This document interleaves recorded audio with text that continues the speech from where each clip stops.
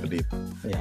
Eh, P, per- apa PGNI sejak ber- berapa dekade tiga presiden memperjuangkan undang-undang guru dan dosen Prof. Ya. Hmm. dan ditandatangani oleh Presiden SBY tahun 2005. Nah, sejak itu kita memiliki undang-undang guru dan dosen.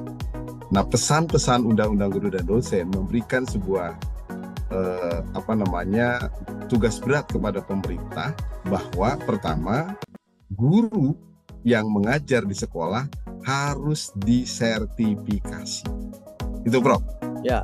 Jadi guru menurut Undang-Undang Guru dan Dosen harus memiliki SIM yakni sertifikat dan kualifikasi kualifikasi dan kompetensi menurut Undang-Undang Guru dan Dosen. Nah, Dan dan kalau pesan dari Undang-Undang Guru dan Dosen, Prof, bahwa sejak 2005 pemerintah diberi kesempatan sampai 2015 untuk menyelesaikan tugas utamanya bagi guru yang sudah mengajar sejak tahun 2002 2005 sampai 2015 harus tuntas Prof. Tapi nyatanya tidak tuntas. Menurut data dari GTK ini masih ada guru-guru yang sudah mengajar sejak 2005 sampai 2015 itu hampir 600 ribuan Hmm. ini berarti sangat-sangat besar yang harus kita kerjakan. Itu yang pertama, menjadi persoalan. PGRI meminta kepada pemerintah untuk segera memberikan eh, apa namanya sertifikasi kepada guru-guru kita dengan cara-cara yang afirmatif dan utuh menilai guru melalui portofolio Prof Hmm. pembinaan iya, pendidikan iya, tapi bagi guru-guru yang 2005 dan 2015 harus diberikan afirmatif dan proses-proses yang eh, tidak seperti proses prajabatan atau dalam jabatan setelah 2016 ini. Kita Ya. bukan membeda-bedakan, mereka harus mendapatkan penghargaan kemudian penghormatan sebagai bukti dedikasi dari pemerintah kepada para guru. Nah, waktu kemarin kita mengundang Direktur PPG Pak Temu Ismail Prof di Lingjum PBPGRI, ada beberapa persoalan yang dihadapi oleh guru-guru dalam melaksanakan proses PPG dalam jabatan. Hmm.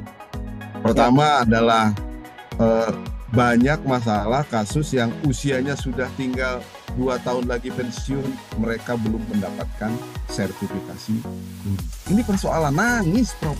Ya. Mereka ya. sudah mengajar sejak tahun 1995. Sekarang kan usianya tua. Kalau mereka disamakan dengan eh, PPG yang sekarang, ya saya meyakini mereka tidak akan sanggup, tidak akan kuat dan tidak akan sesuai dengan kompetensi mereka karena usianya sudah sangat eh, jauh dan sudah sangat tua, Prof. Itu mungkin persoalan yang harus kita kaji bersama dan harus melalui proses-proses yang kita diskusikan bersama. Dan yang paling penting, Prof, urusan PPG, organisasi profesi sama sekali tidak diajak bicara. Padahal yang mengetahui persoalan-persoalan guru, bagaimana guru adalah organisasi profesi, Prof. Ya, Itu, ya. Prof. Dan mereka-mereka yang apa eh, guru-guru yang sudah tua-tua itu Pak Dudung ya, kalau tidak segera disertifikasi ini keburu nggak bisa up, nggak bisa sesuai, nggak bisa se- statusnya sebagai P3K atau apa sehingga dulu 300-an ribu Pak Dudung. Gimana yang sebenarnya? Ya, ini persoalan juga, Prof. Menurut undang-undang, guru dan dosen, guru yang mengajar harus tersertifikasi.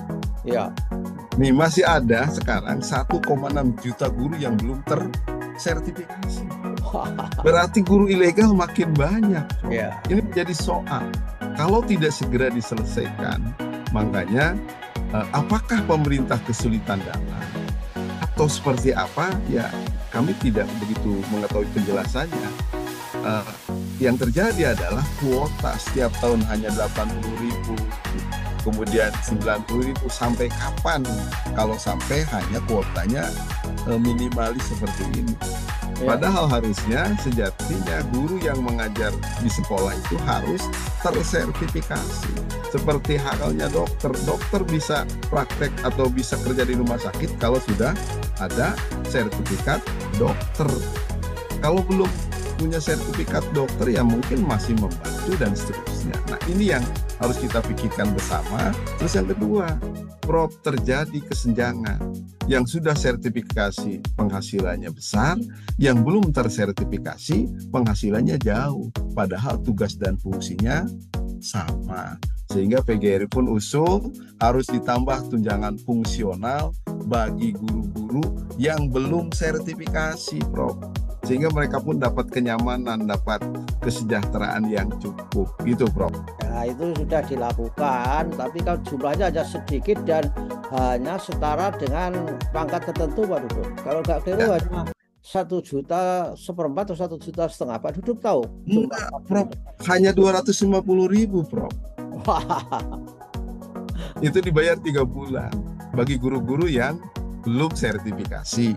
Nah, makanya PGRI mengusulkan supaya agak dekat minimal guru-guru yang belum sertifikasi itu minimal dapat tunjangan fungsional itu 100 eh 1 juta rupiah minimal Prof sehingga tidak terlalu jauh jaraknya kalau guru 3A atau 3B dia dapat 3 atau 2 juta 800 atau 3 juta ya nggak jauh Prof bagi mereka yang yang belum sertifikasi eh, dengan yang sudah sertifikasi ini juga persoalan Prof Iya, iya. Belum lagi guru honor.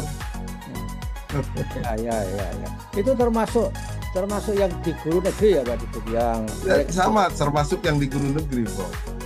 Jadi sama satu kantor PNS sama, ada yang sudah disertifikasi, ada yang belum. Oh, ya.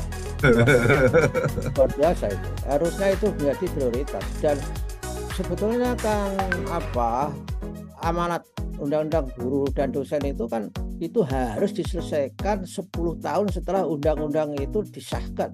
Berarti ya, tahun itu, 2015 urusan sertifikasi, urusan kualifikasi pendidikan itu harusnya sudah selesai, Pak.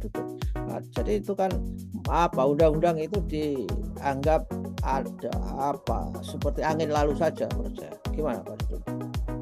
Ya, PGRI juga memandang bahwa kewajiban pemerintah harus dipenuhi, khususnya eh, bagaimana sertifikasi guru yang pesan dari Undang-Undang 2015 harus sudah selesai bagi guru yang sudah mengajar hmm. dan mendorong supaya segera terselesaikan apa pun alasannya. Mudah-mudahan pemerintah melalui Menteri Keuangan sudah menyiapkan anggaran bagi guru-guru yang tersertifikasi. Persoalan kualitas dan kompetensi itu adalah persoalan guru masa depan untuk bangsa ini. Tapi guru-guru yang sudah mengajar, yang kadung sudah mengajar, harus diberikan sebuah penghargaan, dedikasi, dan sebuah penghormatan buat guru-guru kita.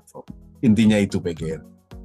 Ya, saya kira itu sebetulnya pemerintah itu memang budgetnya itu kan tidak cukup saya kira.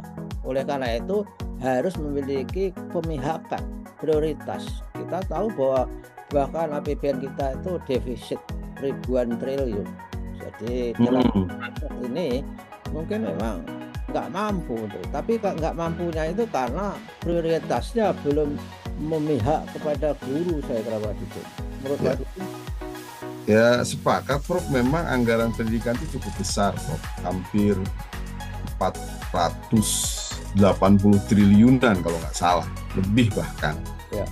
tapi ini tidak hanya di Kementerian Pendidikan, Prof. Jadi ada di kementerian lain.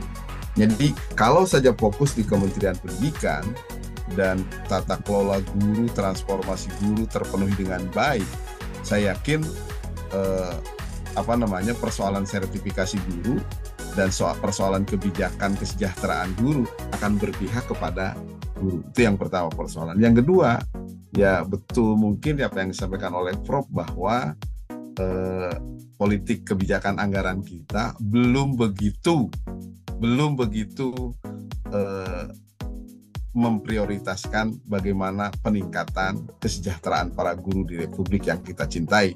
Walaupun memang sebagian para guru sudah menikmati sebuah kebijakan dari pemerintah terkait dengan peningkatan kesejahteraan guru, tapi masih banyak guru-guru kita, saudara-saudara kita yang belum menikmati. Dan mudah-mudahan dengan kita mendorong guru-guru yang belum tersertifikasi, guru-guru yang sudah sertifikasi pun mendapatkan tunjangan-tunjangan tambahan yang lebih besar. Sehingga fokus dalam mengajar, melaksanakan kewajiban dan tugasnya, mereka akan semakin meningkat dan kualitas pembelajaran kita semakin meningkat. Kemudian literasi dasar kita meningkat, literasi sains juga kita meningkat, dan karakter para siswa kita juga meningkat. Begitu, Prof. Ya, ya, ya, ya, ya, oke. Anggaran kita itu postur anggaran pendidikan kita nggak sehat, Pak Dudun. Oh, Walaupun gitu. anggaran sebesar itu, kementerian itu kan hanya eh, bisa memanfaatkan 60-an persen, 40